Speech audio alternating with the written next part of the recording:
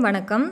TNPSC group two group two A preliminary exam clear பண்ண candidates உங்களோட documents எல்லாமே e Seva சென்டரில் அப்லோட் பண்ணிகிட்டு இருக்கீங்க. டிசம்பர் பதினாறாம் தேதி வரைக்கும் நீங்கள் உங்களோட சர்டிஃபிகேட்ஸை அப்லோட் பண்ணலாம். அதில் முக்கியமாக மாற்றுத்திறனாளிகள் அப்படின்னு சொல்லக்கூடிய பிஹெச் கேண்டிடேட்ஸ் என்னென்ன சர்டிஃபிகேட் அப்லோட் பண்ணணும் அப்படிங்கிறதுல அவங்களுக்கு நிறைய டவுட்ஸ் இருக்கிறதா நாங்கள் கேள்விப்படுறோம்.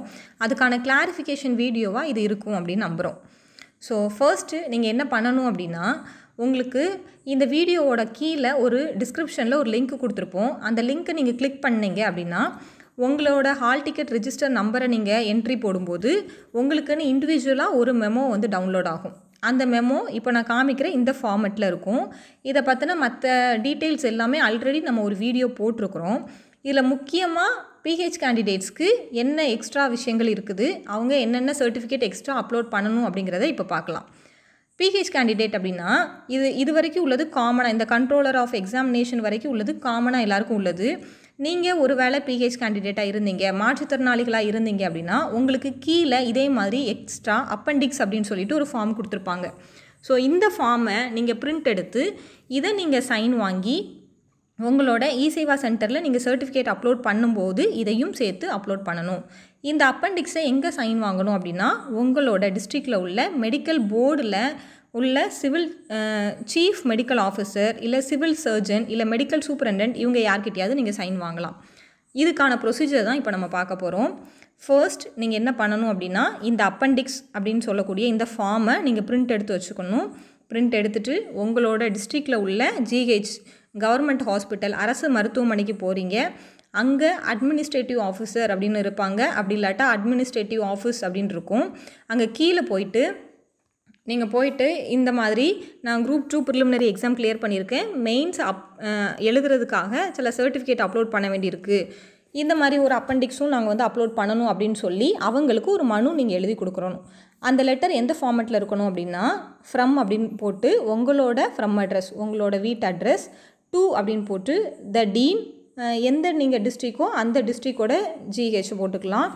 அதாவது மருத்துவமனையோட முதல்வருக்கு நீங்கள் லெட்டர் எழுதுறீங்க. பொருள் நான் group two preliminary exam clear பண்ணியிருக்கிறேன். மெயின்ஸ் எழுதுறதுக்காக இந்த மாற்றுத்திறனாளிக்கான இந்த குறிப்பிட்ட சான்றிதழ் எனக்கு தேவைப்படுது. இது எனக்கு சைன் பண்ணி கொடுக்கணும் அப்படின்னு சொல்லி நீங்கள் கண்டென்ட் எழுதிக்கிறீங்க. எழுதிட்டு அந்த லெட்டர் நீங்கள் கையில் கொண்டு போகணும். அது போக இதெல்லாம் எடுத்துகிட்டு போகணும் அப்படிங்கிறத நான் சொல்கிறேன் செகண்டு உங்களோட அடையாள அட்டை மாற்றுத்திறனாளிக்கான அடையாள அட்டை நீங்கள் ஒன்று வாங்கி வச்சுருப்பீங்க. அந்த மாற்றுத்திறனாளிக்கான புதுப்பிக்கப்பட்ட அடையாள அட்டையை கையில் வச்சுக்கோங்க. அதுக்கப்புறம் உங்களோட ஹால் டிக்கெட் பிரிண்டட் ஃபார்ம் ஒன்று கையில் வச்சுக்கோங்க. ஆதார் கார்டோட xerox ration card xerox passport size photo இது போக உங்களோட டிசபிலிட்டியை ப்ரூஃப் பண்ணதுக்கு வேறு என்ன சர்டிஃபிகேட்ஸ் உங்களோட கையில் இருந்தாலும் அந்த சர்டிஃபிகேட்டையும் கையில் வச்சுக்கலாம். இது போக நீங்கள் எழுதின லெட்டர் இது எல்லாமே எடுத்துகிட்டு நீங்கள் கொண்டு போய் மெடிக்கல் போர்டில் கொடுத்து நான் இதை மாதிரி அப்ளை பண்ணுறேன் அப்படின்னு சொன்னீங்கன்னா அவங்க மெடிக்கல் போர்டுக்கு வர சொல்லி உங்களுக்கு ஒரு லெட்டர் வீட்டுக்கு அனுப்புவாங்க. ஸோ அந்த டேட்டில் நீங்கள் மெடிக்கல் போர்டுக்கு அப்பியர் ஆகணும். அப்பியர் ஆகி டிசபிலிட்டியை ப்ரூஃப் பண்ணதுக்கு வேறு என்ன சர்டிஃபிகேட்ஸ் உங்களோட கையில் இருந்தாலும் அந்த சர்டிஃபிகேட்டையும் கையில் வச்சுக்கலாம். இது போக நீங்கள் எழுதின லெட்டர் இது எல்லாமே எடுத்துகிட்டு நீங்கள் கொண்டு போய் மெடிக்கல் போர்டில் கொடுத்து நான் இதை மாதிரி அப்ளை பண்ணுறேன் அப்படின்னு சொன்னீங்கன்னா அவங்க மெடிக்கல் போர்டுக்கு வர சொல்லி உங்களுக்கு ஒரு லெட்டர் வீட்டுக்கு அனுப்புவாங்க. ஸோ அந்த டேட்டில் நீங்கள் மெடிக்கல் போர்டுக்கு அப்பியர் ஆகணும். அப்பியர் ஆகி இந்த அப்பண்டிக்ஸ் ஃபார்மெட்டில் சைன் வாங்கிட்டு வரணும். இந்த அப்பண்டிக்ஸ் ஃபார்மெட்டில் என்னெல்லாம் இருக்கும் அப்படின்னா இந்த கீழே கொடுத்துருக்கு பாருங்கள் exemption from Tamil or second லாங்குவேஜ்னு கொடுத்துருப்பாங்க. ஆல் த பிஹெச் கேண்டிடேட்ஸ்க்கு தமிழ் எக்ஸம்ஷன் உண்டு. தமிழ் லாங்குவேஜ் அவங்க எழுத வேண்டாம். Second extra dash hours for writing theory எக்ஸாம்னு கொடுத்துருக்காங்க. செகண்ட் லைனில் எக்ஸ்ட்ரா ஒன் ஹவர் பெர்மிஷன் கொடுப்பாங்க உங்களோட டிசபிலிட்டியை பொறுத்து. இதுவும் மெடிக்கல் சீஃப் ஆஃபீஸர் தான் வந்து டிசைட் பண்ணணும் உங்களோட டிசபிலிட்டியை பொறுத்து. அடுத்தது அலாகேஷன் ஆஃப் ஸ்க்ரைப் உங்களுக்கு ஸ்க்ரைப் வேணுமா இல்லை நீங்களாக எழுதிப்பீங்களா அப்படிங்கிறதையும் உங்கள் சீஃப் ஆஃபீஸர் வந்து டிசைட் பண்ணி இதில் டிக் பண்ணுவாங்க. தென் அடுத்தது யூஸிங் கால்குலேட்டர் அசிஸ்டிவ் டிவைஸ் ஏதாவது யூஸ் பண்ணிக்கலாமா அப்படிங்கிறதையும் அவங்க டிசைட் பண்ணி இந்த ஃபார்மை ஃபில் பண்ணி கொடுப்பாங்க. இதை அவங்க ஃபில் பண்ணி கொடுத்ததுக்கப்புறம் இதோட ஒரிஜினல் காப்பியை நீங்கள் இ சேவா சென்டரில் அப்லோட் பண்ணணும்.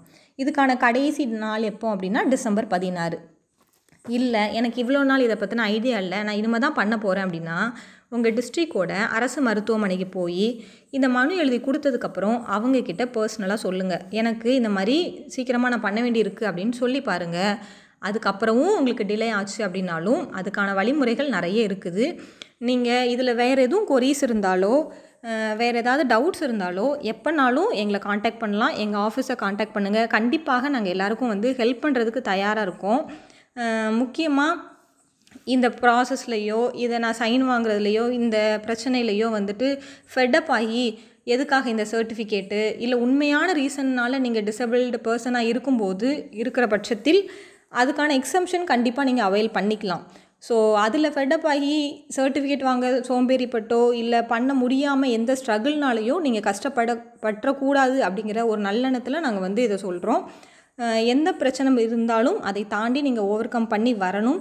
கண்டிப்பாக you should compete with others கண்டிப்பாக மற்ற எல்லாரோடையும் நீங்கள் போட்டி போடணும். போட்டி போட்டு வெற்றி அடையணும்.